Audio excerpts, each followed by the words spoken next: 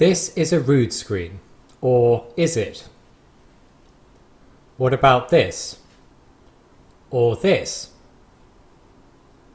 Rood screens, the barrier which separates the altar area from the nave, are extremely ancient and appear essentially as soon as church buildings.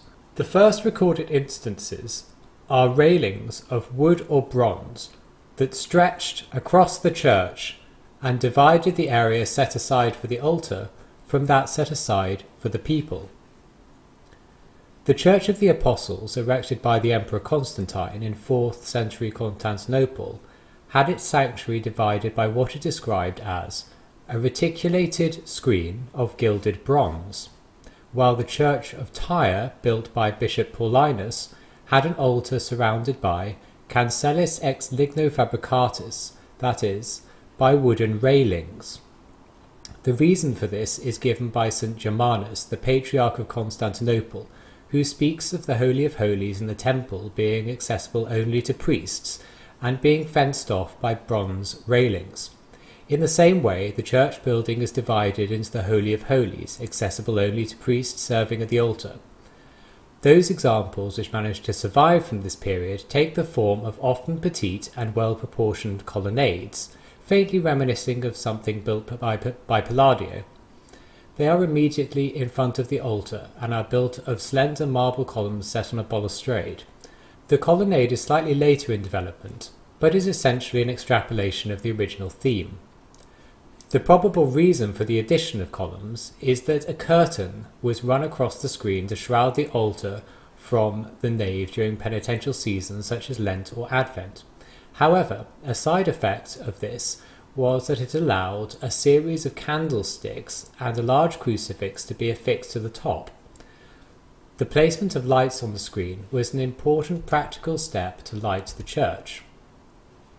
But it is the crucifix, or in Old English the rood, spelt R O O D, later flanked by statues of the Blessed Virgin and St. John, that gives the name to the rood screen.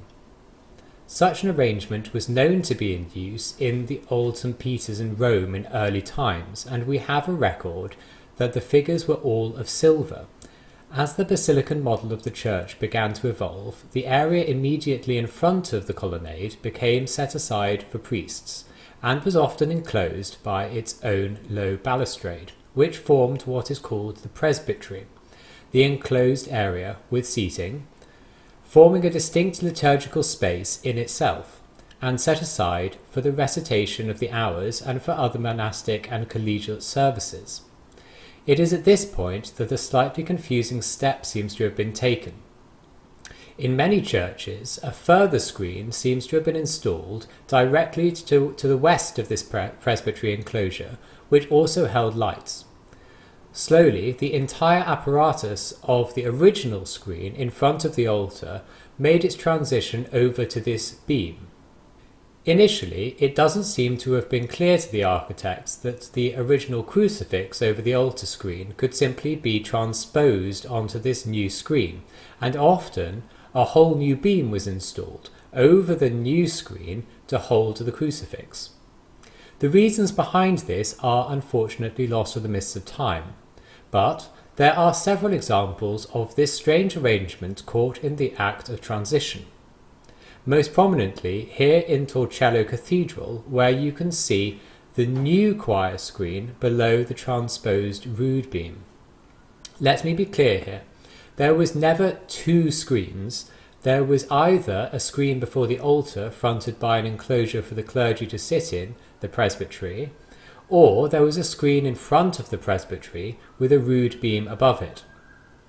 Inevitably, before long, the beam and the screen became one discrete unit, though it's important to bear in mind this distinction, because it will come back to haunt and confuse us later on in this video. The earliest rood screens in England were made of stone and were attempts, and this is a point of much confusion, to imitate the continental colonnaded screens. They occur in the earliest English churches which we have the remains of, and often, though not always, seem to have been formed of a low arch or three low arches across the nave of the church. To be clear, These triple chancel arches of the earliest Anglo Saxon churches are nothing but a deliberate attempt to reproduce more or less faithfully, and as the material and skill served, such colonnaded screens as those of old St. Peter's in Rome.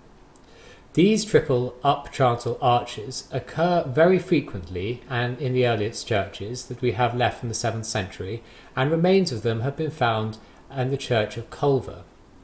Reculver is a fascinating archaeological survival, and it seems that the arches rest upon pre used Roman columns, but this was by no means normal. It's at this point that the second confusing and surprising thing happens. These arches are not, in fact, the origin of the modern rood screen. They are actually the origin of the chancel arch. As church architecture again evolved, somewhat divergently from the continental model, they're greatly informed by the churches in Gaul, the three arches became one long arch and became taller and taller until eventually it reached the roof of the building and became an architectural feature, integral to the structure itself. The rood beam, the bar of wood spanning the church and topped by the candles and the cross, became again detached and was shunted higher and higher until eventually it was swapped and placed beneath the arch. Reproducing the continental model, these arches often had one or two distinct pulpits directly to the west. We can say with some certainty that in the early medieval period, many churches had screens and pulpits which were of this type, with a single masonry arch, a railing below, and a beam above. Canterbury Cathedral had one of this type, and there is also evidence of one having existed at, at Bury St Edmunds, with the rood donated by Archbishop Stigand. William of Malmesbury references another such arrangement when he tells us that at Winchester a flash of lightning trabum maximum peculiat ut fragmina in totus spargerento ecclesia quinet crucifixi caput con dextra tibi et imagium sancti Maria dejecit. That is, it broke up the rood beam, splintering the image of our Lord, and hurling down that of the Blessed Virgin. This was on the 15th of October 1091. There are two last points to note here, which is that part of the screen's function continued to be to hold a curtain, which was drawn across either at penitential times or to veil the altar at certain parts of the Mass. An Anglo-Saxon pontifical tells us that extenso velo interior sed populum, that a veil was stretched between the priest and the people. This implies that when veils were not stretched around the altar, as was common on the continent, and is the primary function of the Roman baldacchino, they were placed across the screen. The second point is that these beams do not appear to hold a platform or rood loft. It is true that in some of the southern continental churches, a beam was stretched between two pulpits, which sometimes gave the impression that this is the origin of the rood loft. But in fact, it is simply a remnant of the original function of the screen separating the presbytery, which often was flanked at its west end by two pulpits. As we shall see, the two pulpit model has a quite separate lineage to that of the rood screen. At this point, I'm going to talk only about big cathedrals and collegiate churches, and then we will look in some more detail about how smaller parish churches copied the standards set by their mother churches as best they could. I have already mentioned three distinct features of evolving church architecture the chancel arch, which is now a single span architectural feature, which we will leave for now. Second, the rood beam with a rail below and, depending on the width of the nave, some supporting wooden columns to prevent it sagging in the middle. Third, the two pulpits customarily placed at the west end of the presbytery and sometimes connected with a rood beam in the southern continental churches. Let's look first at the last of these features. In England and France, these grew into what we will call the pulpitum. In a slightly confused process, they expanded into essentially a single large block placed to the west of the chancel arch. Sometimes these held the rood beams well, as at Westminster Abbey, and sometimes not, as at Salisbury, where a pulpitum was erected directly to the west of the chancel arch, now the chancel crossing with a tower on top. The reason behind this seems to have been general conventions surrounding the placement of the presbytery as it relates to the chancel arch. This is by no means a hard and fast rule, but in those churches where the presbytery extended to the west beyond the chancel arch or crossing, a pulpitum was the norm, and in those churches where the presbytery ended at the chancel arch in a rood screen, a separate pulpit was constructed to the west of the central crossing, preserving the general convention of the ancient churches to place pulpits to the west of a rood beam. In fact, there are examples of this again being caught in the act of transition. An example is the screen at Dunstable, which seems to have been an ancient pulpitum and to have been transformed into a rood screen during the eastward expansion of the building. Again, however, we have to caveat this with the fact that there are so many hybrid examples of pulpitum screens, which buck the general trend. In these, however, there is still a degree of uniformity. The screen here is normally a solid wall, like a pulpitum, with a little doorway on either side, such as in St Albans. This allows for a central nave altar and for two columns of monks to follow the line of coloured stones helpfully laid down the centre of the nave and in procession through the screen. This may go some way to explaining why this format was particularly favoured in monastic foundations. I hope that all of these exceptions to the rule are proving an important point for this period of church appointment that while there was a general notion of separation by a screen and a rood cross, the clear distinction between the rood screen and the pulpitum was not yet, as it had not yet been in the early Italian churches, a hard and fast one. There is a final spanner to throw in the works here, which is the notion of the fence screen. Sometimes, for example, at uh, Nor- Norwich Cathedral, for example, a further screen was added to the west of the pulpitum, the rites of Durham talk about such screens in front, note in front of the nave altar. The height, we are told, was something above a man's breast, and in height of the said door it was all overstricken full of iron pipes that no man should climb over it. The function of these screens is obvious, and I won't say any more about them except to know that they existed, and that they shouldn't be confused, as they sometimes are, with the actual rood screen or with the pulpitum. So, we are left with an image in our minds of what one may have encountered as one entered what was considered to be an optimum liturgical space. As you enter and you make your way up through the nave, you will approach a nave altar, but will find your way blocked by a spiky fence which prevents you and the rest of the crowd getting too close. Behind the nave altar is the pulpitum, a large stone screen spanning the whole width of the central aisle, with a platform on top, derived from the early pulpits of the continental churches. In it is probably two small doors if you are in a monastic building, which lead through the screen to the central crossing. If you make it through these doors, you will find yourself in the central crossing, with the ceiling punctured with the clerestory of the tower, which has come so far since its origin as a low arch spanning the nave. You will find, however, that despite its height, it is still the custom to hang a curtain called the Great Lenten Veil down the entire height of the arch during penitential seasons, as was done in the ancient times from that low arch.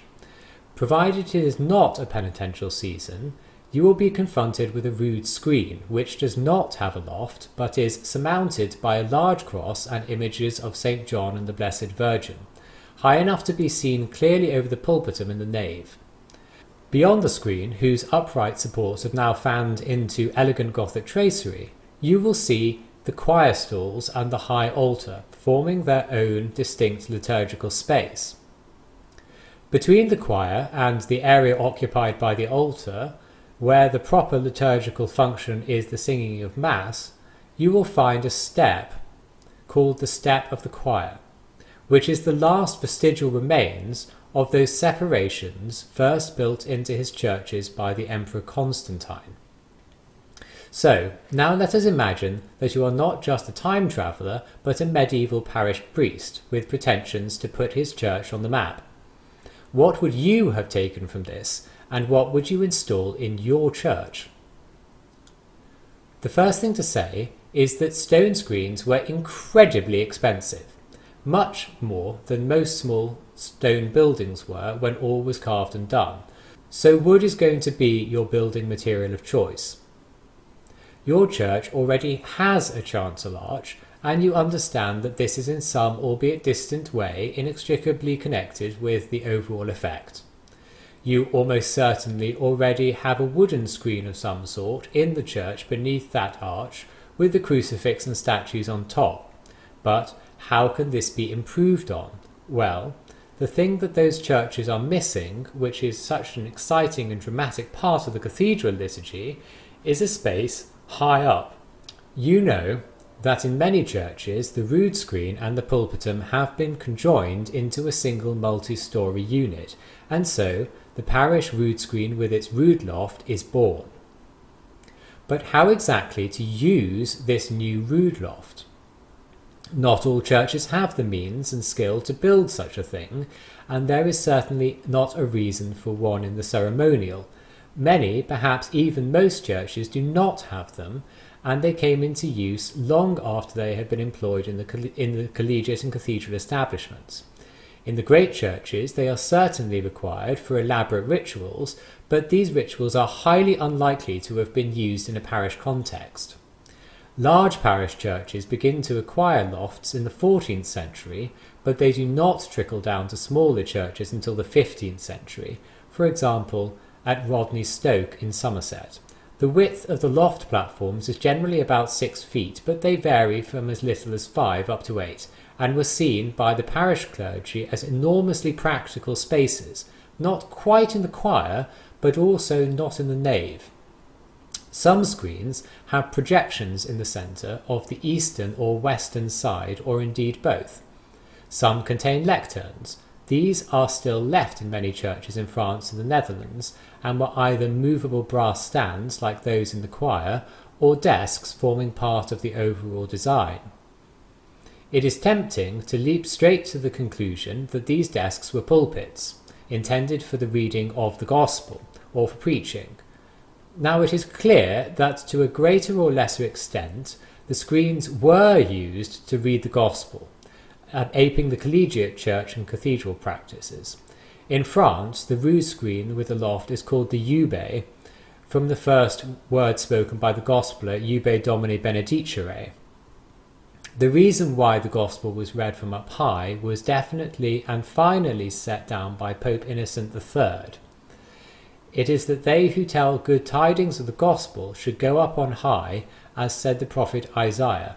Super montem excelsum exsende tu, qui evangelisa Sion, exulta et fortitudine voce tuum.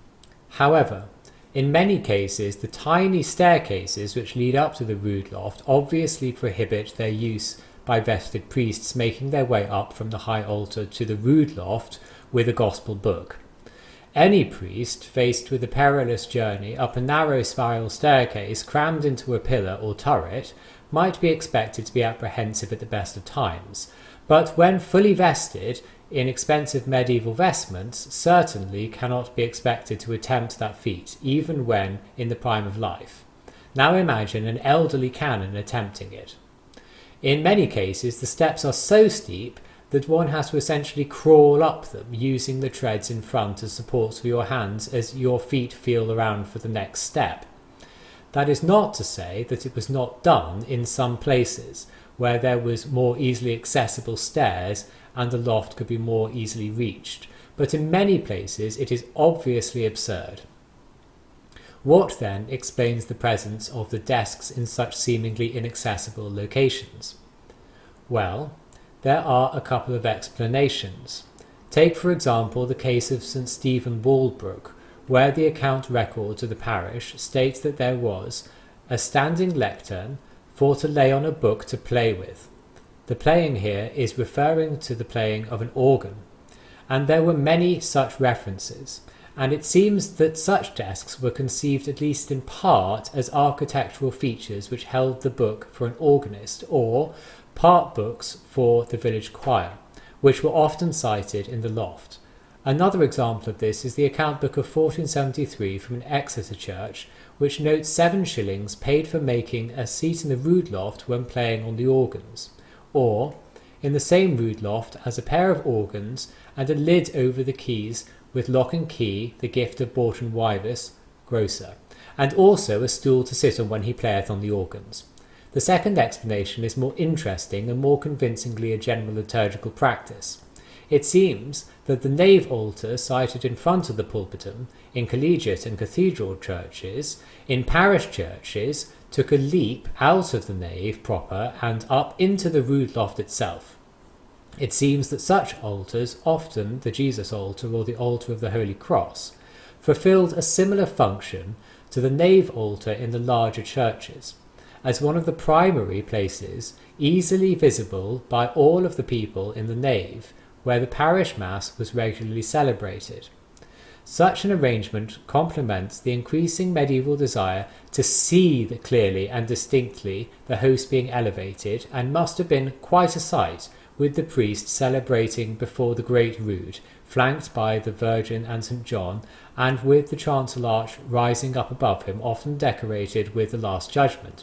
Such a scene to the medieval mind would have encapsulated the entire salvific, salvic economy this is quite a good explanation, as the priest would vest at the altar and consequently would be spared the perilous journey up the stairs in full garb.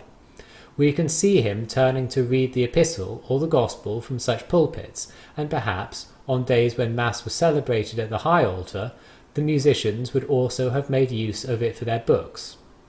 Such an arrangement was almost certainly in operation in Manchester Cathedral, which has a large 15th century pulpit come rood screen in the central opening and just such a protruding reading stand.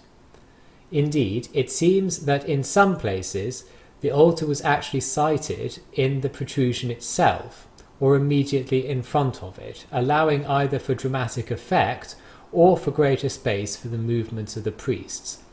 We do in fact get a whisper in surviving descriptions of just such a ritual with the Gospel at High Mass being read just outside of the rood screen despite the spacious loft.